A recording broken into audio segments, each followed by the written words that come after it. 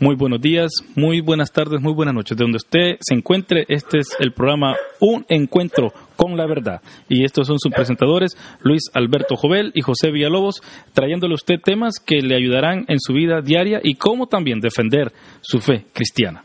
En este será nuestro último segmento, nuestro, de, las tres partes que hemos estado hablando acerca de la resurrección de Cristo y lo queremos tener ya listo antes del domingo de resurrección para que todos ustedes puedan oírlo y también puedan compartirlo eh, con, sus pastores y eh, con sus miembros de la iglesia para que ellos también puedan ser edificados en el conocimiento de nuestro Señor Jesucristo. Martín Lutero no tuvo ese problema de que la gente dudaba que Jesús resucitaba o había resucitado, lo que tenía problemas es una reliquia, ¿verdad, José? Exacto. Las reliquias que la gente iba y, y, lo más chistoso es que, que, hay gente que decía que tenía la verdadera leche de la Virgen María. que no sé qué, 1500 años esa leche aún está y otros decían que tenían el, el, las, ¿cómo se llama? Las, las plumas del ángel Gabriel. Y me acuerdo que en Los Simpson sale de que cuando al, ¿cómo se llama? La, la, a la Homer Simpson lo quiere matar la mafia. Y en uno de esos le pega un balazo a Ned Flanders, el cristiano de los Simpsons, y dice Ned Flanders, qué bueno que, que, que, estaba con, con, un pedazo de la verdadera cruz de Jesús, porque ahí le pegó el, ahí le pegó el balazo a él. Un balazo. Eh, no, eh, eh, hay de todo, hay de todo. aún, aún ahora mucha gente quiere pretende de que ellos tienen directo contacto con Jesús, como antes estamos hablando, antes de comenzar el, podcast de apóstoles, iba a ser un tema que, que lo tenemos que hablar, José, apóstoles el día de hoy lo tenemos que hablar. Ese es otro problema de que los apóstoles eh, no, niegan, no, la resurrección de, Jesús, pero sí sacan nuevas enseñanzas que según ellos Jesús las está dando. Ese es para otra ocasión. Bueno, vamos a comenzar. Eh, son seis alternativas, seis eh, que, cosas que, que, nos ofrecen los enemigos de la fe. Y muchas veces no son tanto enemigos, sino que simplemente son personas que les cuesta les cuesta ah, aceptar. Como estamos hablando con José anteriormente, Bart Ehrman, él, es uno de los, de los que niega muchas cosas de la resurrección y Croissant es otro, que son, los apellidos de ellos. Eh, eh, muchos de ellos fueron eh, cristianos, hasta Croissant fue hasta padre católico y, y Ehrman fue evangélico, si no me equivoco, José. Sí, sí, así es. Eh, estas personas eh, llegó un punto de su vida que empezaron a dudar todo lo que la Biblia decía, todo lo que la todo lo que la Escritura enseña y es una cosa que a, mí al contrario eh, yo he tenido una experiencia muy contraria a ella cuando yo yo sabía que esto era verdad y cuando llegué al seminario mi, mi fe se afirmó más porque sabía de que lo que la palabra de Dios decía, ya de antemano lo sabía, pero se confirmó de que es la verdad. Así que eh, lo que muchos de estas personas dicen que no creen que hay nada supernatural y usualmente siempre están queriendo eh, rechazar o querer explicar alguna eh, como el hecho de la resurrección como algo como un fenómeno natural. Y es un fenómeno, un fenómeno natural lo encuentro como un oxímoron porque puede ser un fenómeno y a la vez natural. Yo no yo no entiendo eso. Qué es lo que quieren decir un fenómeno natural. La palabra fenómeno eh, lo, lo, lo, que quiere decir es, es un evento nada más. Mm. un, un, evento interesado de, de, mucho interés, pero uh, ahí, ahí es donde usan esa palabra muy... Uh, muy uh, muy libre, muy libremente también. La gente ahora, ahora eh, le dicen a quién, a, a, a si una niña, esta niña que ha cantado Sarah Black, o no me acuerdo que, que, ha tenido 111 millones de, de, hits en YouTube, se le dice un fenómeno. Eh, sí. El Justin Bieber es un fenómeno. Y uno siempre piensa de un fenómeno alguien desfigurado o que tiene seis dedos. Así me enseñaron a mí cuando era pequeño y no, fenómeno es como decís ahora, es un evento, es algo fuera de lo común. Que puede pasar, pero no es fuera de lo común. Bueno, e, e, e, estas explicaciones tienen que ser evaluadas como hipótesis, porque son hipótesis, no son cosas que, son hechos eh, documentados. Es como la hipótesis del Big Bang. Nadie estuvo en el Big Bang, así que sigue siendo una hipótesis. Eh, se tiene que usar muy buena ciencia para evaluarlos. Y, aquí donde quisiera eh, alternar un poco con José, quisiera yo tomar el punto A, que lo estamos viendo, eh, hay que tener consistencia lógica. Y, una, y un ejemplo de consistencia lógica es lo que le estoy diciendo, lo que le acabo de decir acerca de Caifás. Caifás no creía en ángel, Caifás no creía en espíritu, Caifás no creía en una vida después de la muerte. Entonces, ¿cómo él entonces iba a llevar en su ataúd unos, un, par de, un par de clavos que supuestamente son talismanes para ayudarle a él a, a tener una vida placentera en el más allá? Eso no cuaja Exacto, y de aquí prestamos una, de aquí nos ayuda la historia de, de uno de los dioses uh, de la mitología griega, donde él invitaba a, a, personas que llegaran a su casa a comer, a, a platicar con él y pues a, quedarse con él en la casa. Pero este, esta, este personaje tenía una cama, tenía una cama de cierto tamaño. La persona que llegaba a la casa de él tenía que, dormir en esa cama, pero tenía que, que eh, tenía que tener exactamente la medida.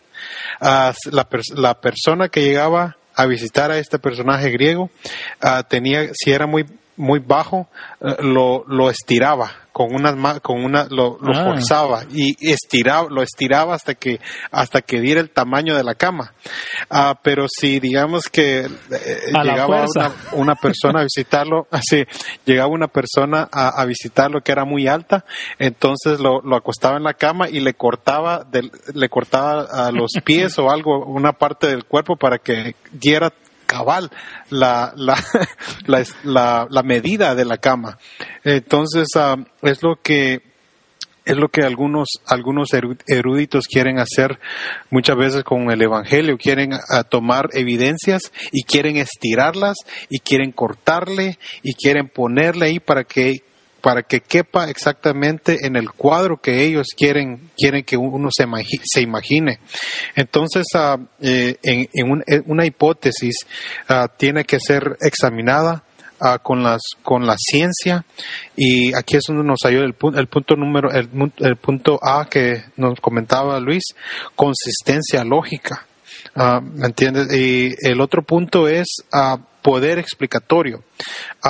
puede pueden las evidencias o pueden o puede lo que pueden el evangelio explicar bien lo que pasó en, en la vida de Jesús, en la durante la resurrección de Jesús, nosotros creemos que sí. lo que sigue ahí es la fidelidad a, a datos conocidos. ¿Qué, qué se mm. sabía de Jesús? Por ejemplo, no. Eh, eh, después vamos a hablar. Quiero, creo que me estoy avanzando un poco, pero después vamos a hablar sobre una de las hipótesis que, uh, que Jesús tenía un, un, uh, un gemelo. ¿Me entiende? Pues eso no cabe en, las, en los datos conocidos. Uh, después, eh, tiene que evitar, tiene que evitar esta hipótesis suposiciones injustificables. Mm. o sea, tienen que, tienen que tienen que haber, de haber una manera en que se puede justificar las, esta hipótesis. Ah, y también la habilidad de, ponerse a prueba. ¿Se puede examinar esto? Ah, podemos saber que los clavos que encontró Jakobovich ah, ah, e, e, eran, eran en realidad los de Jesucristo y que, que, no quede, que no quede duda alguna de que esos en realidad eran los clavos de Jesús. Pues yo pienso que no. Entonces esta, esta hipótesis, eh, esta hipótesis de Jakobovich eh, cae, cae eh, redonda ante, ante esta, esta clase de evidencia o esta clase de examinación. Y, y, y, este, eh, este examen para examinar no solamente cosas arqueológicas, sino que también se puede usar para examinar doctrinas que estamos, que usted, querido oyente, puede oír, y se las quiero volver a decir. Eh, son cinco, son la consistencia lógica, son el poder de la explicación, es la fidelidad a los hechos, a los conocidos hechos, es el, el, punto número el D aquí en nuestras notas es, es no hacer no no hacer asunciones que no sean eh, corroboradas y por último es poder em, examinar e, esto esto se puede eh, en el día de hoy se está se está eh, yendo al mismo mismo tema de los apóstoles de que muchas personas quieren, eh, siguen a los apóstoles. Entonces, se le puede decir, bueno, es lógico tener apóstoles el día de ahora, se puede explicar el día de ahora, si va a confesar esa explicación va a confirmar las palabras, y recordemos que aquí, aquí Pablo dice que él fue el último de los apóstoles, entonces cómo una persona el día de hoy puede decir que es apóstol, eh, fidelidad a los hechos, a los hechos conocidos, por ejemplo, después de que murió Juan, nunca, nunca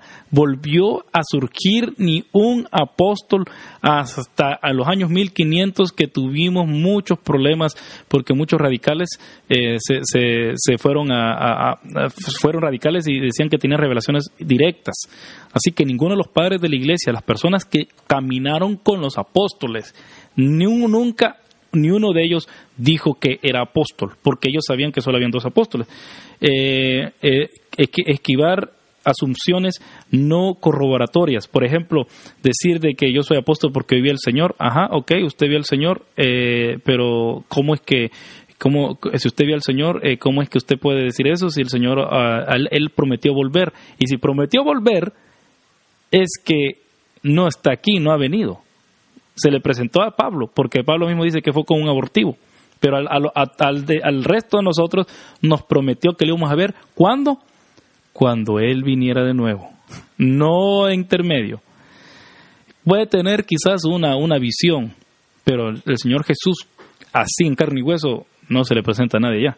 Y por último, poder hacer todo, poder eh, eh, examinar todo conforme a las escrituras y como le he dicho, conforme a todas estas cosas que hemos mencionado antes. Bueno, pero la primera hipótesis que pone, que trata de poner en duda eh, la, la resurrección de Cristo es que muchos dicen que simplemente es una leyenda que no dicen que no hay suficiente tiempo muchos dicen que, fue una leyenda que no que, nada más que algo que, lo, inventaron los los uh, los discípulos, pero esto cae en muchos problemas. Porque si alguien dice que es una leyenda, entonces muchos piensan de que no hay suficiente tiempo para convertirse la resurrección de Jesús en una leyenda. Jesús fue, fue eh, crucificado más o menos en el año 33. Ya para el año 60 ya habían evangelios. Habían pasado 30 años. 30 años, querido oyente, no es suficiente para inventarse una leyenda. Y también que los que escribieron los evangelios no fueron personas que oyeron las leyendas, como Homero, por ejemplo, Homero. Homero, el que escribió la Iliada, él había oído las, leyendas de sus antepasados y entonces él las puso en escrito. Pero no, fue así con, los, con, con, la vida de Jesús, con la historia de Jesús. Jesús, eh, sus discípulos, los discípulos oculares fueron los que escribieron, ellos fueron los que escribieron eh, los evangelios. Y dice también que, aquí en nuestro estudio dice que también que, que en la segunda, eh, A.N. Sherwin White nos dice en su, en su libro Roman Law, en, eh, bueno, lo voy a leer en español, la ley romana en el Nuevo Testamento dice que dos generaciones aún es insuficiente para que lleguemos a concluir que, el, que lo que vemos en el Nuevo Testamento es un mito.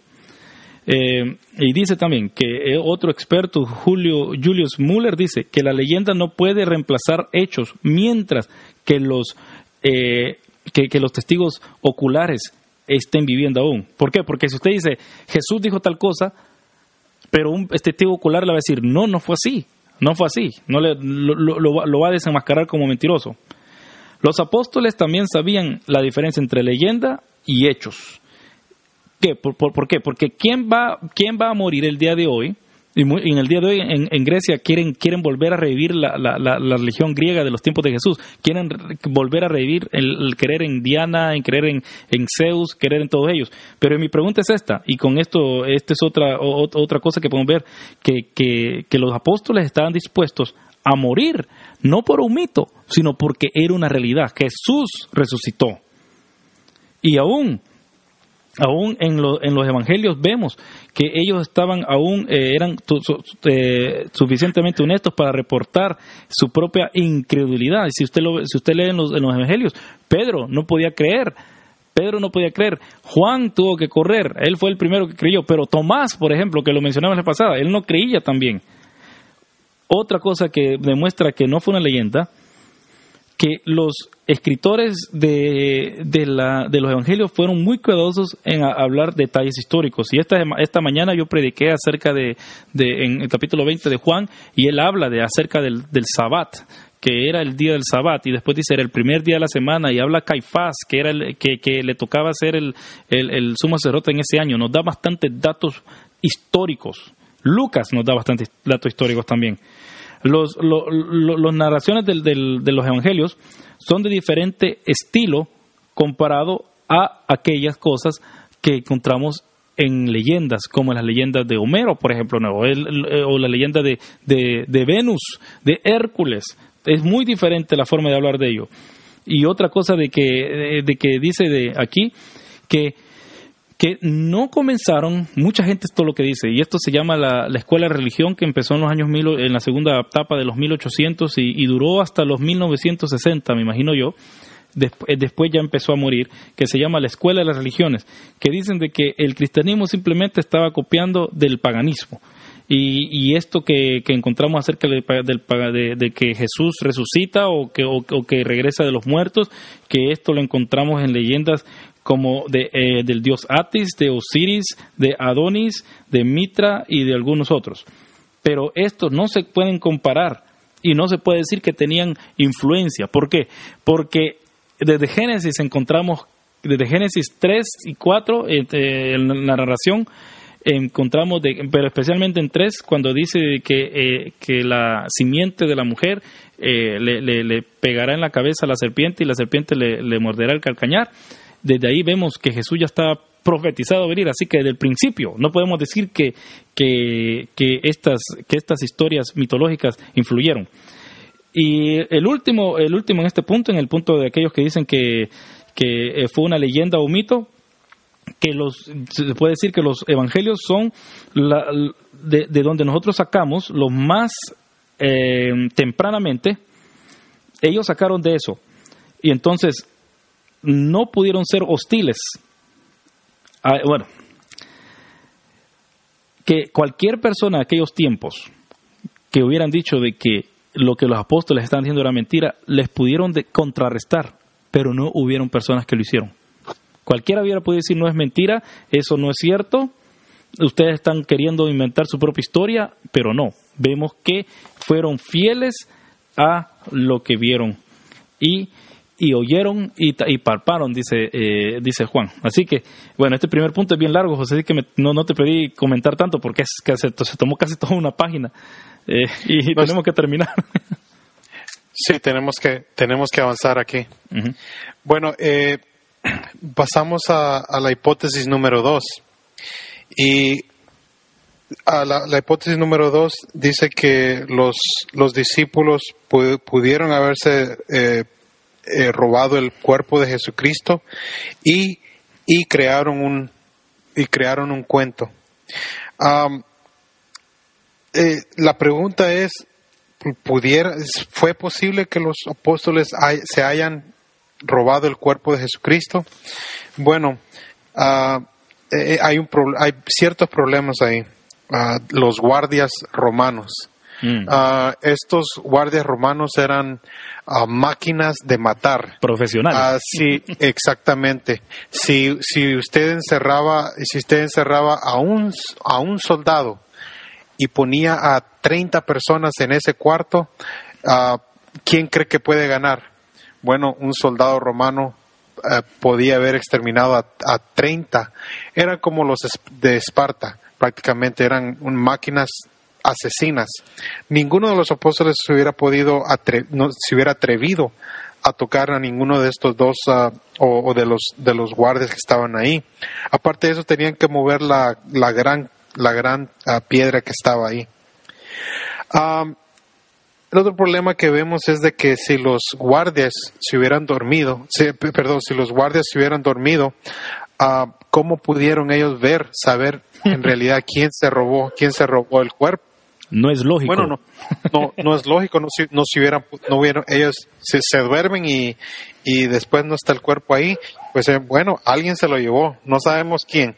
Se lo pudo haber llegado los fariseos, se lo pudieran, pero los fariseos o, los religiosos no les convenía porque entonces hubieran dicho, bueno, estamos ayudando a la leyenda que, que este, que este dijo de que al, al, tercer día iba a resucitar. Exacto.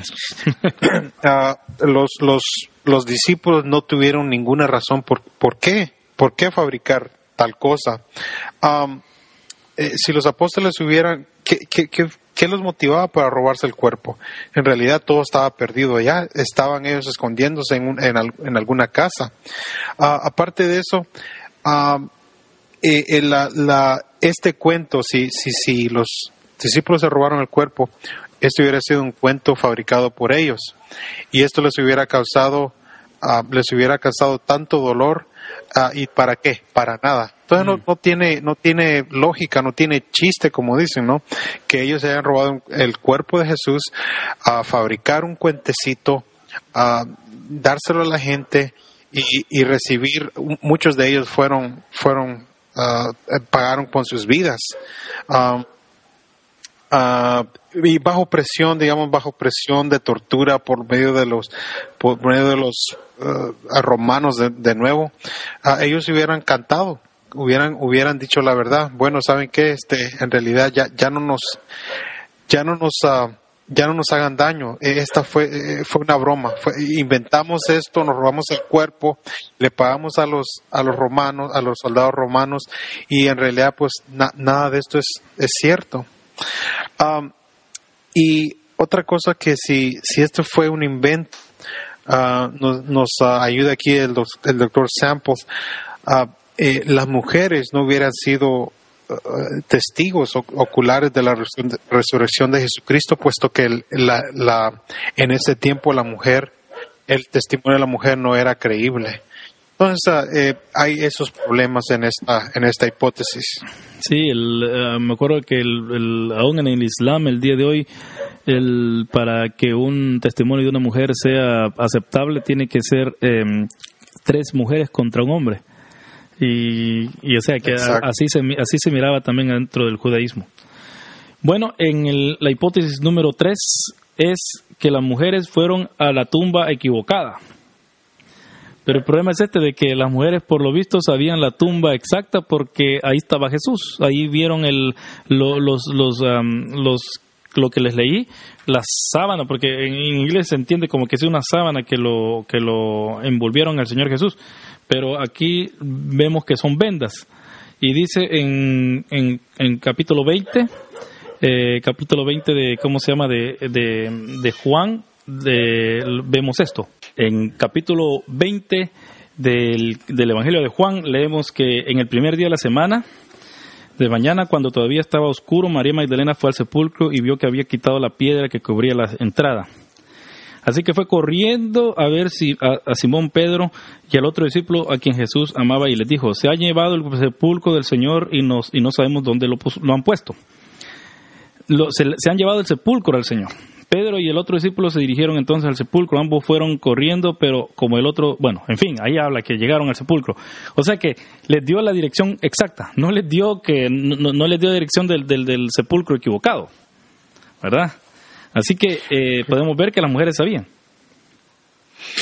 Ya hubieran dicho, bueno, tal vez nos equivocamos de tumba y no hubieran ido a los, a los discípulos si no hubieran, hubieran ido a ver a Jesús a José de Arimatea para que les recordara dónde estaba la tumba en realidad. O sea, eso es lo más lógico, ¿no? Claro, y también otra cosa de que, de que podemos ver que eh, José de Arimatea sabía dónde estaba su propia tumba.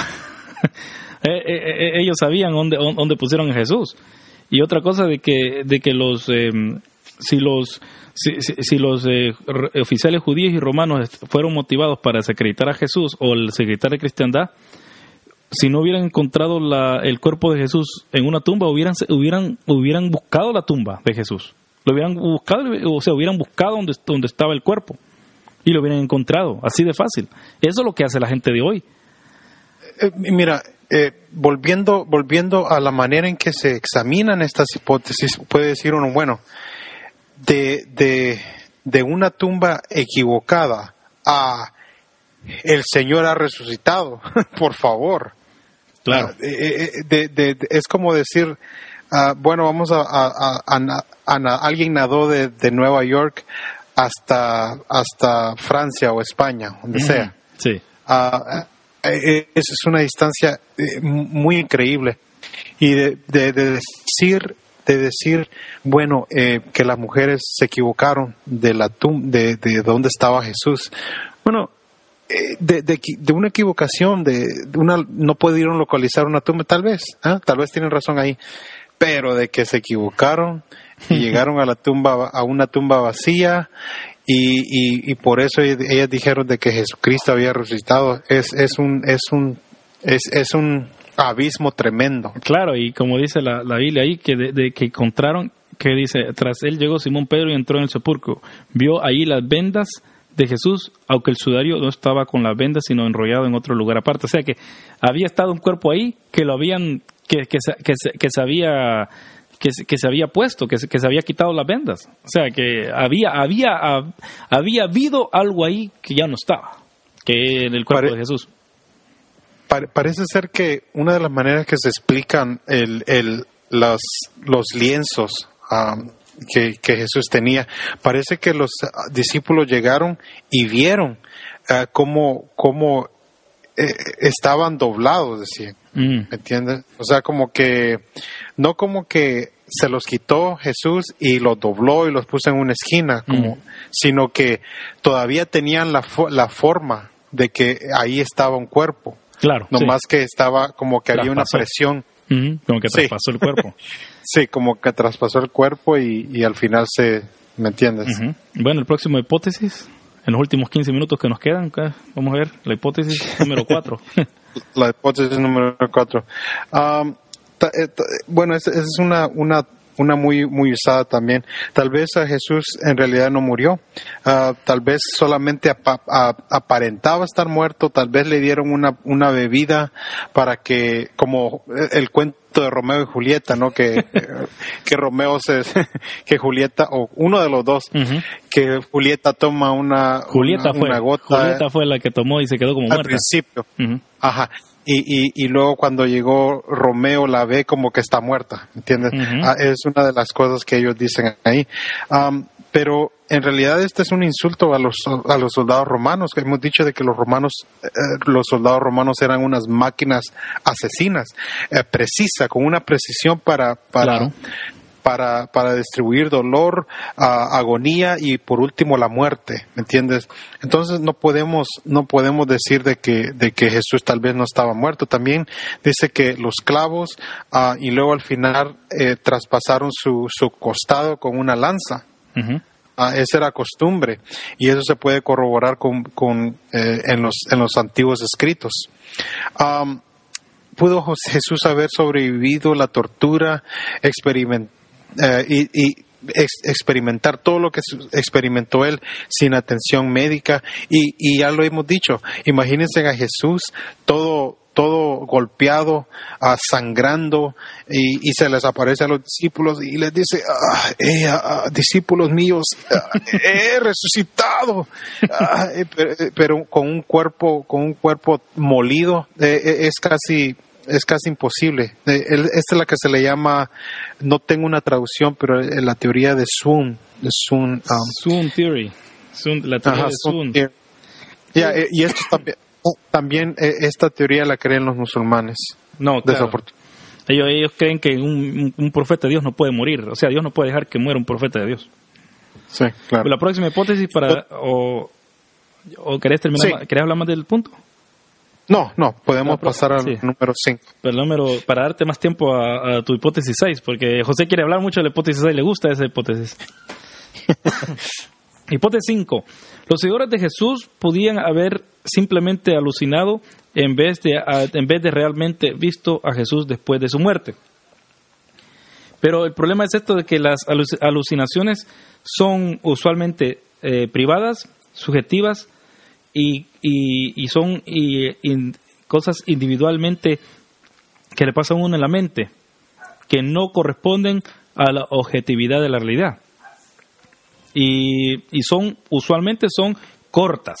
Si alguien alucina, aún los esquizofrénicos alucinan no por días, sino por horas o por lo más por minutos. Y, una de las cosas que pasó fue que Jesús, ah, bueno, después de haber dicho esto, de que, son privadas, eh, podemos decir, Pablo dice en Corintios capítulo 15, y también al final del Evangelio dice de que muchos vieron a Jesús irse al cielo. Si ustedes se recuerdan leer el, el capítulo de Lucas, eso es lo que dice, ¿o no, José?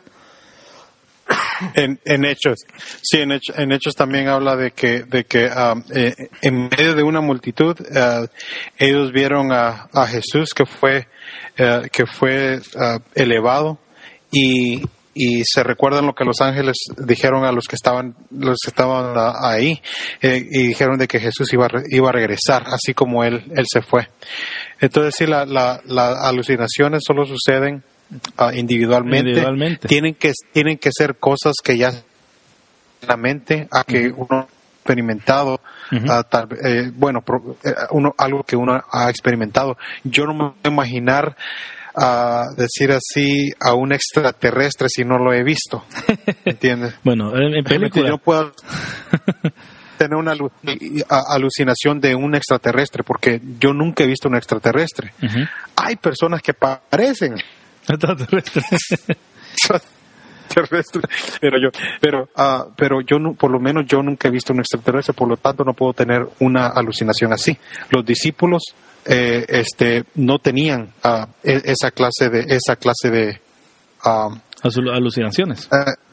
eh, de, de, de, datos eh, sobre la resurrección. en 1 Corintios 15 dice porque todos los que les transmití a ustedes lo que yo mismo recibí, que Cristo murió por nuestros pecados, según las Escrituras, versículo 4, que fue sepultado que, según las Escrituras y que, eh, que resucitó al tercer día, según las Escrituras, y que apareció a Cefas y luego a los doce. Después apareció a más de 500 hermanos a la vez, la mayoría de los cuales viven todavía, aunque algunos han muerto. Así que 500 personas tuvieron esta supuesta alucinación en el mismo momento. Y no solamente una vez, sino que después de resucitado, dice Hechos uno, que Jesús pasó con ellos, con los discípulos, 40 días, 40 días pasó. Tenemos que recordar también una de las cosas que, que, debemos mencionar, es que los discípulos no tenían en su mente la, la, la, la idea de un Mesías resucitado, tenían la, la idea de de la resurrección al final de los tiempos. Y ejemplo ahí es Lázaro, cuando, cuando Jesús le dice a una de las hermanas de Lázaro, él, él, es, él va a resucitar. ¿Y qué es lo que le responde la mujer? Le dice, la mujer le dice, sí, claro que va a resucitar, eso lo sabemos en la resurrección al final. Al final, sí. O sea, ellos tienen, ellos tienen, tenían una noción de una resurrección al final, una resurrección general, pero nunca se imaginaron ellos de que el Mesías iba a resucitar. Eso no estaba, no estaba en, el radar de ellos. Entonces, por lo tanto, esto no mm. puede no puede, una alucinación no puede explicar las apariciones no, no va conforme a lo que dijimos al principio, los cinco, los cinco esquemas que dijimos que se tienen que aplicar a cualquier explicación. No es lógico, no, no, no, no, eh, no, es, no es fiel a los hechos. No, no se puede, está lleno de asunciones y no se puede examinar. Y para terminar solamente este punto, me quisiera leer solo este versículo. Habiendo, eh, dice, dice Hechos capítulo 1, versículo 3, después de padecer la muerte se les presentó dándoles muchas pruebas convincentes de que estaba vivo. Durante 40 días se les apareció y les habló acerca del reino de Dios. O sea, 40 días. Es una, si esta alucinación es la única alucinación en toda la historia del, ser humano, de la, del mundo, de que ha durado 40 días. Ok, José, tu último punto. Sí. Bueno, ¿podemos seguir aquí? Bueno, la hipótesis 6, ah, quería, quería hablar ah, sobre esto porque uh, este habla que esta hipótesis eh, eh, explica de que es posible de que Jesucristo tenía un hermano gemelo. Creo que ya lo hemos mencionado antes, Luis. Y la razón por qué este me, me, interesaba hablar es porque yo conozco al hombre que, que salió con esta invención. Ah, yo estudié con él, yo estudié con este hombre y él es un ateo, claro, es un ateo, ah, es un doctor en, en filosofía. Entonces, uh, vamos a, hay un grave problema aquí, mm. hay un grave problema. imagínense, Jesucristo lo, acaban de matar y luego llega el, el, gemelo, bueno, pues a él lo van a matar también. exacto, exacto. esa, fue, esa fue mi respuesta a, este profesor, porque los romanos hubieran dicho, bueno, tal vez no lo matamos bien a este. hay, hay, que, hay que volverla entonces. Yo odiaría ser el, el, gemelo de Jesús, de veras que no, ni, no me puedo ni imaginar. Bueno, pero, porque a mí pasaría lo mismo. pero, pero, esta tu explicación no está, no, no está en nuestras explicaciones escritas, así que está buena esa.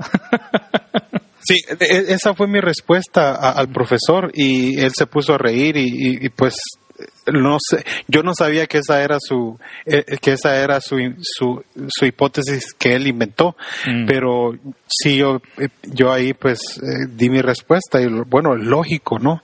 Que si los romanos lo ven al, al, gemelo, ah pues este va a seguir eh, va a seguir el, el, el camino Exacto. de Jesús. Este va a continuar con la revolución, con, la, con él. Exacto, exacto. Entonces, esa es la, la, la explicación sobre ese, esa hipótesis 6. Y una de las cosas que dice también, que qué, qué, es lo que un hombre conseguiría al hacer tal cosa, hacerse pasar por Jesús. Exacto. Si yo no, podría, no, podría hacer los milagros, no pudiera hacer nada. Ya, y además eh, en la eh, cuando cuando el ángel va y habla con eh, el ángel habla con con María, le dice le habla de que eh, va a tener un hijo y no dos hijos.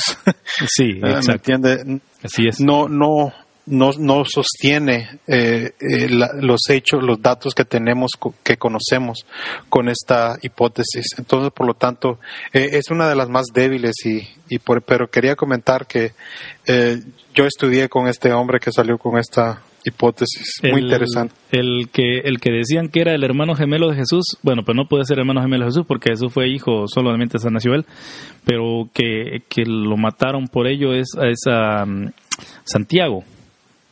Eh, que, que él por eso lo mataron porque él se parecía tanto a Jesús que, que Ananías y, Anás, y Caifás, los, el sumo sacerdote y su, y su suegro lo mandaron a matar por ello. Y a, y a Caifás fue que lo mataron también por eso, porque los romanos no estuvieron contentos con lo que él hacía. Así que él también fue dispuesto. Sí, exacto. Y, y, por último, pues um, eh, tengamos esto en mente de que, de que uh, se, me, se me escapó el, el pensamiento ahí, pero sí, es, es, una, es una hipótesis muy débil, creo yo. Bueno, muy débil. Así, esas son las seis hipótesis, queridos amigos, queridos hermanos. ¿Alguna, en los últimos tres minutos que tenemos, alguna última cosa que quieras decir? Sí, que Jesucristo en verdad ha resucitado. Amén. Así, comencé yo mi, mi, en inglés. Jesus is risen. Y las personas no todos sabían. Is risen indeed. En verdad ha resucitado. Exacto. Y eso es lo que sostenemos nosotros y defendemos. Así que estaremos eh, en nuestro próximo programa. Eh, le, diré en este momento qué es lo que vamos a tocar. Otro punto siempre para defender la fe. Y nos iremos al principio del libro de, de Edao sin ninguna, sin ninguna duda, eh, respondiendo a las 20 preguntas más difíciles acerca de la fe por Kenneth Richard Sample.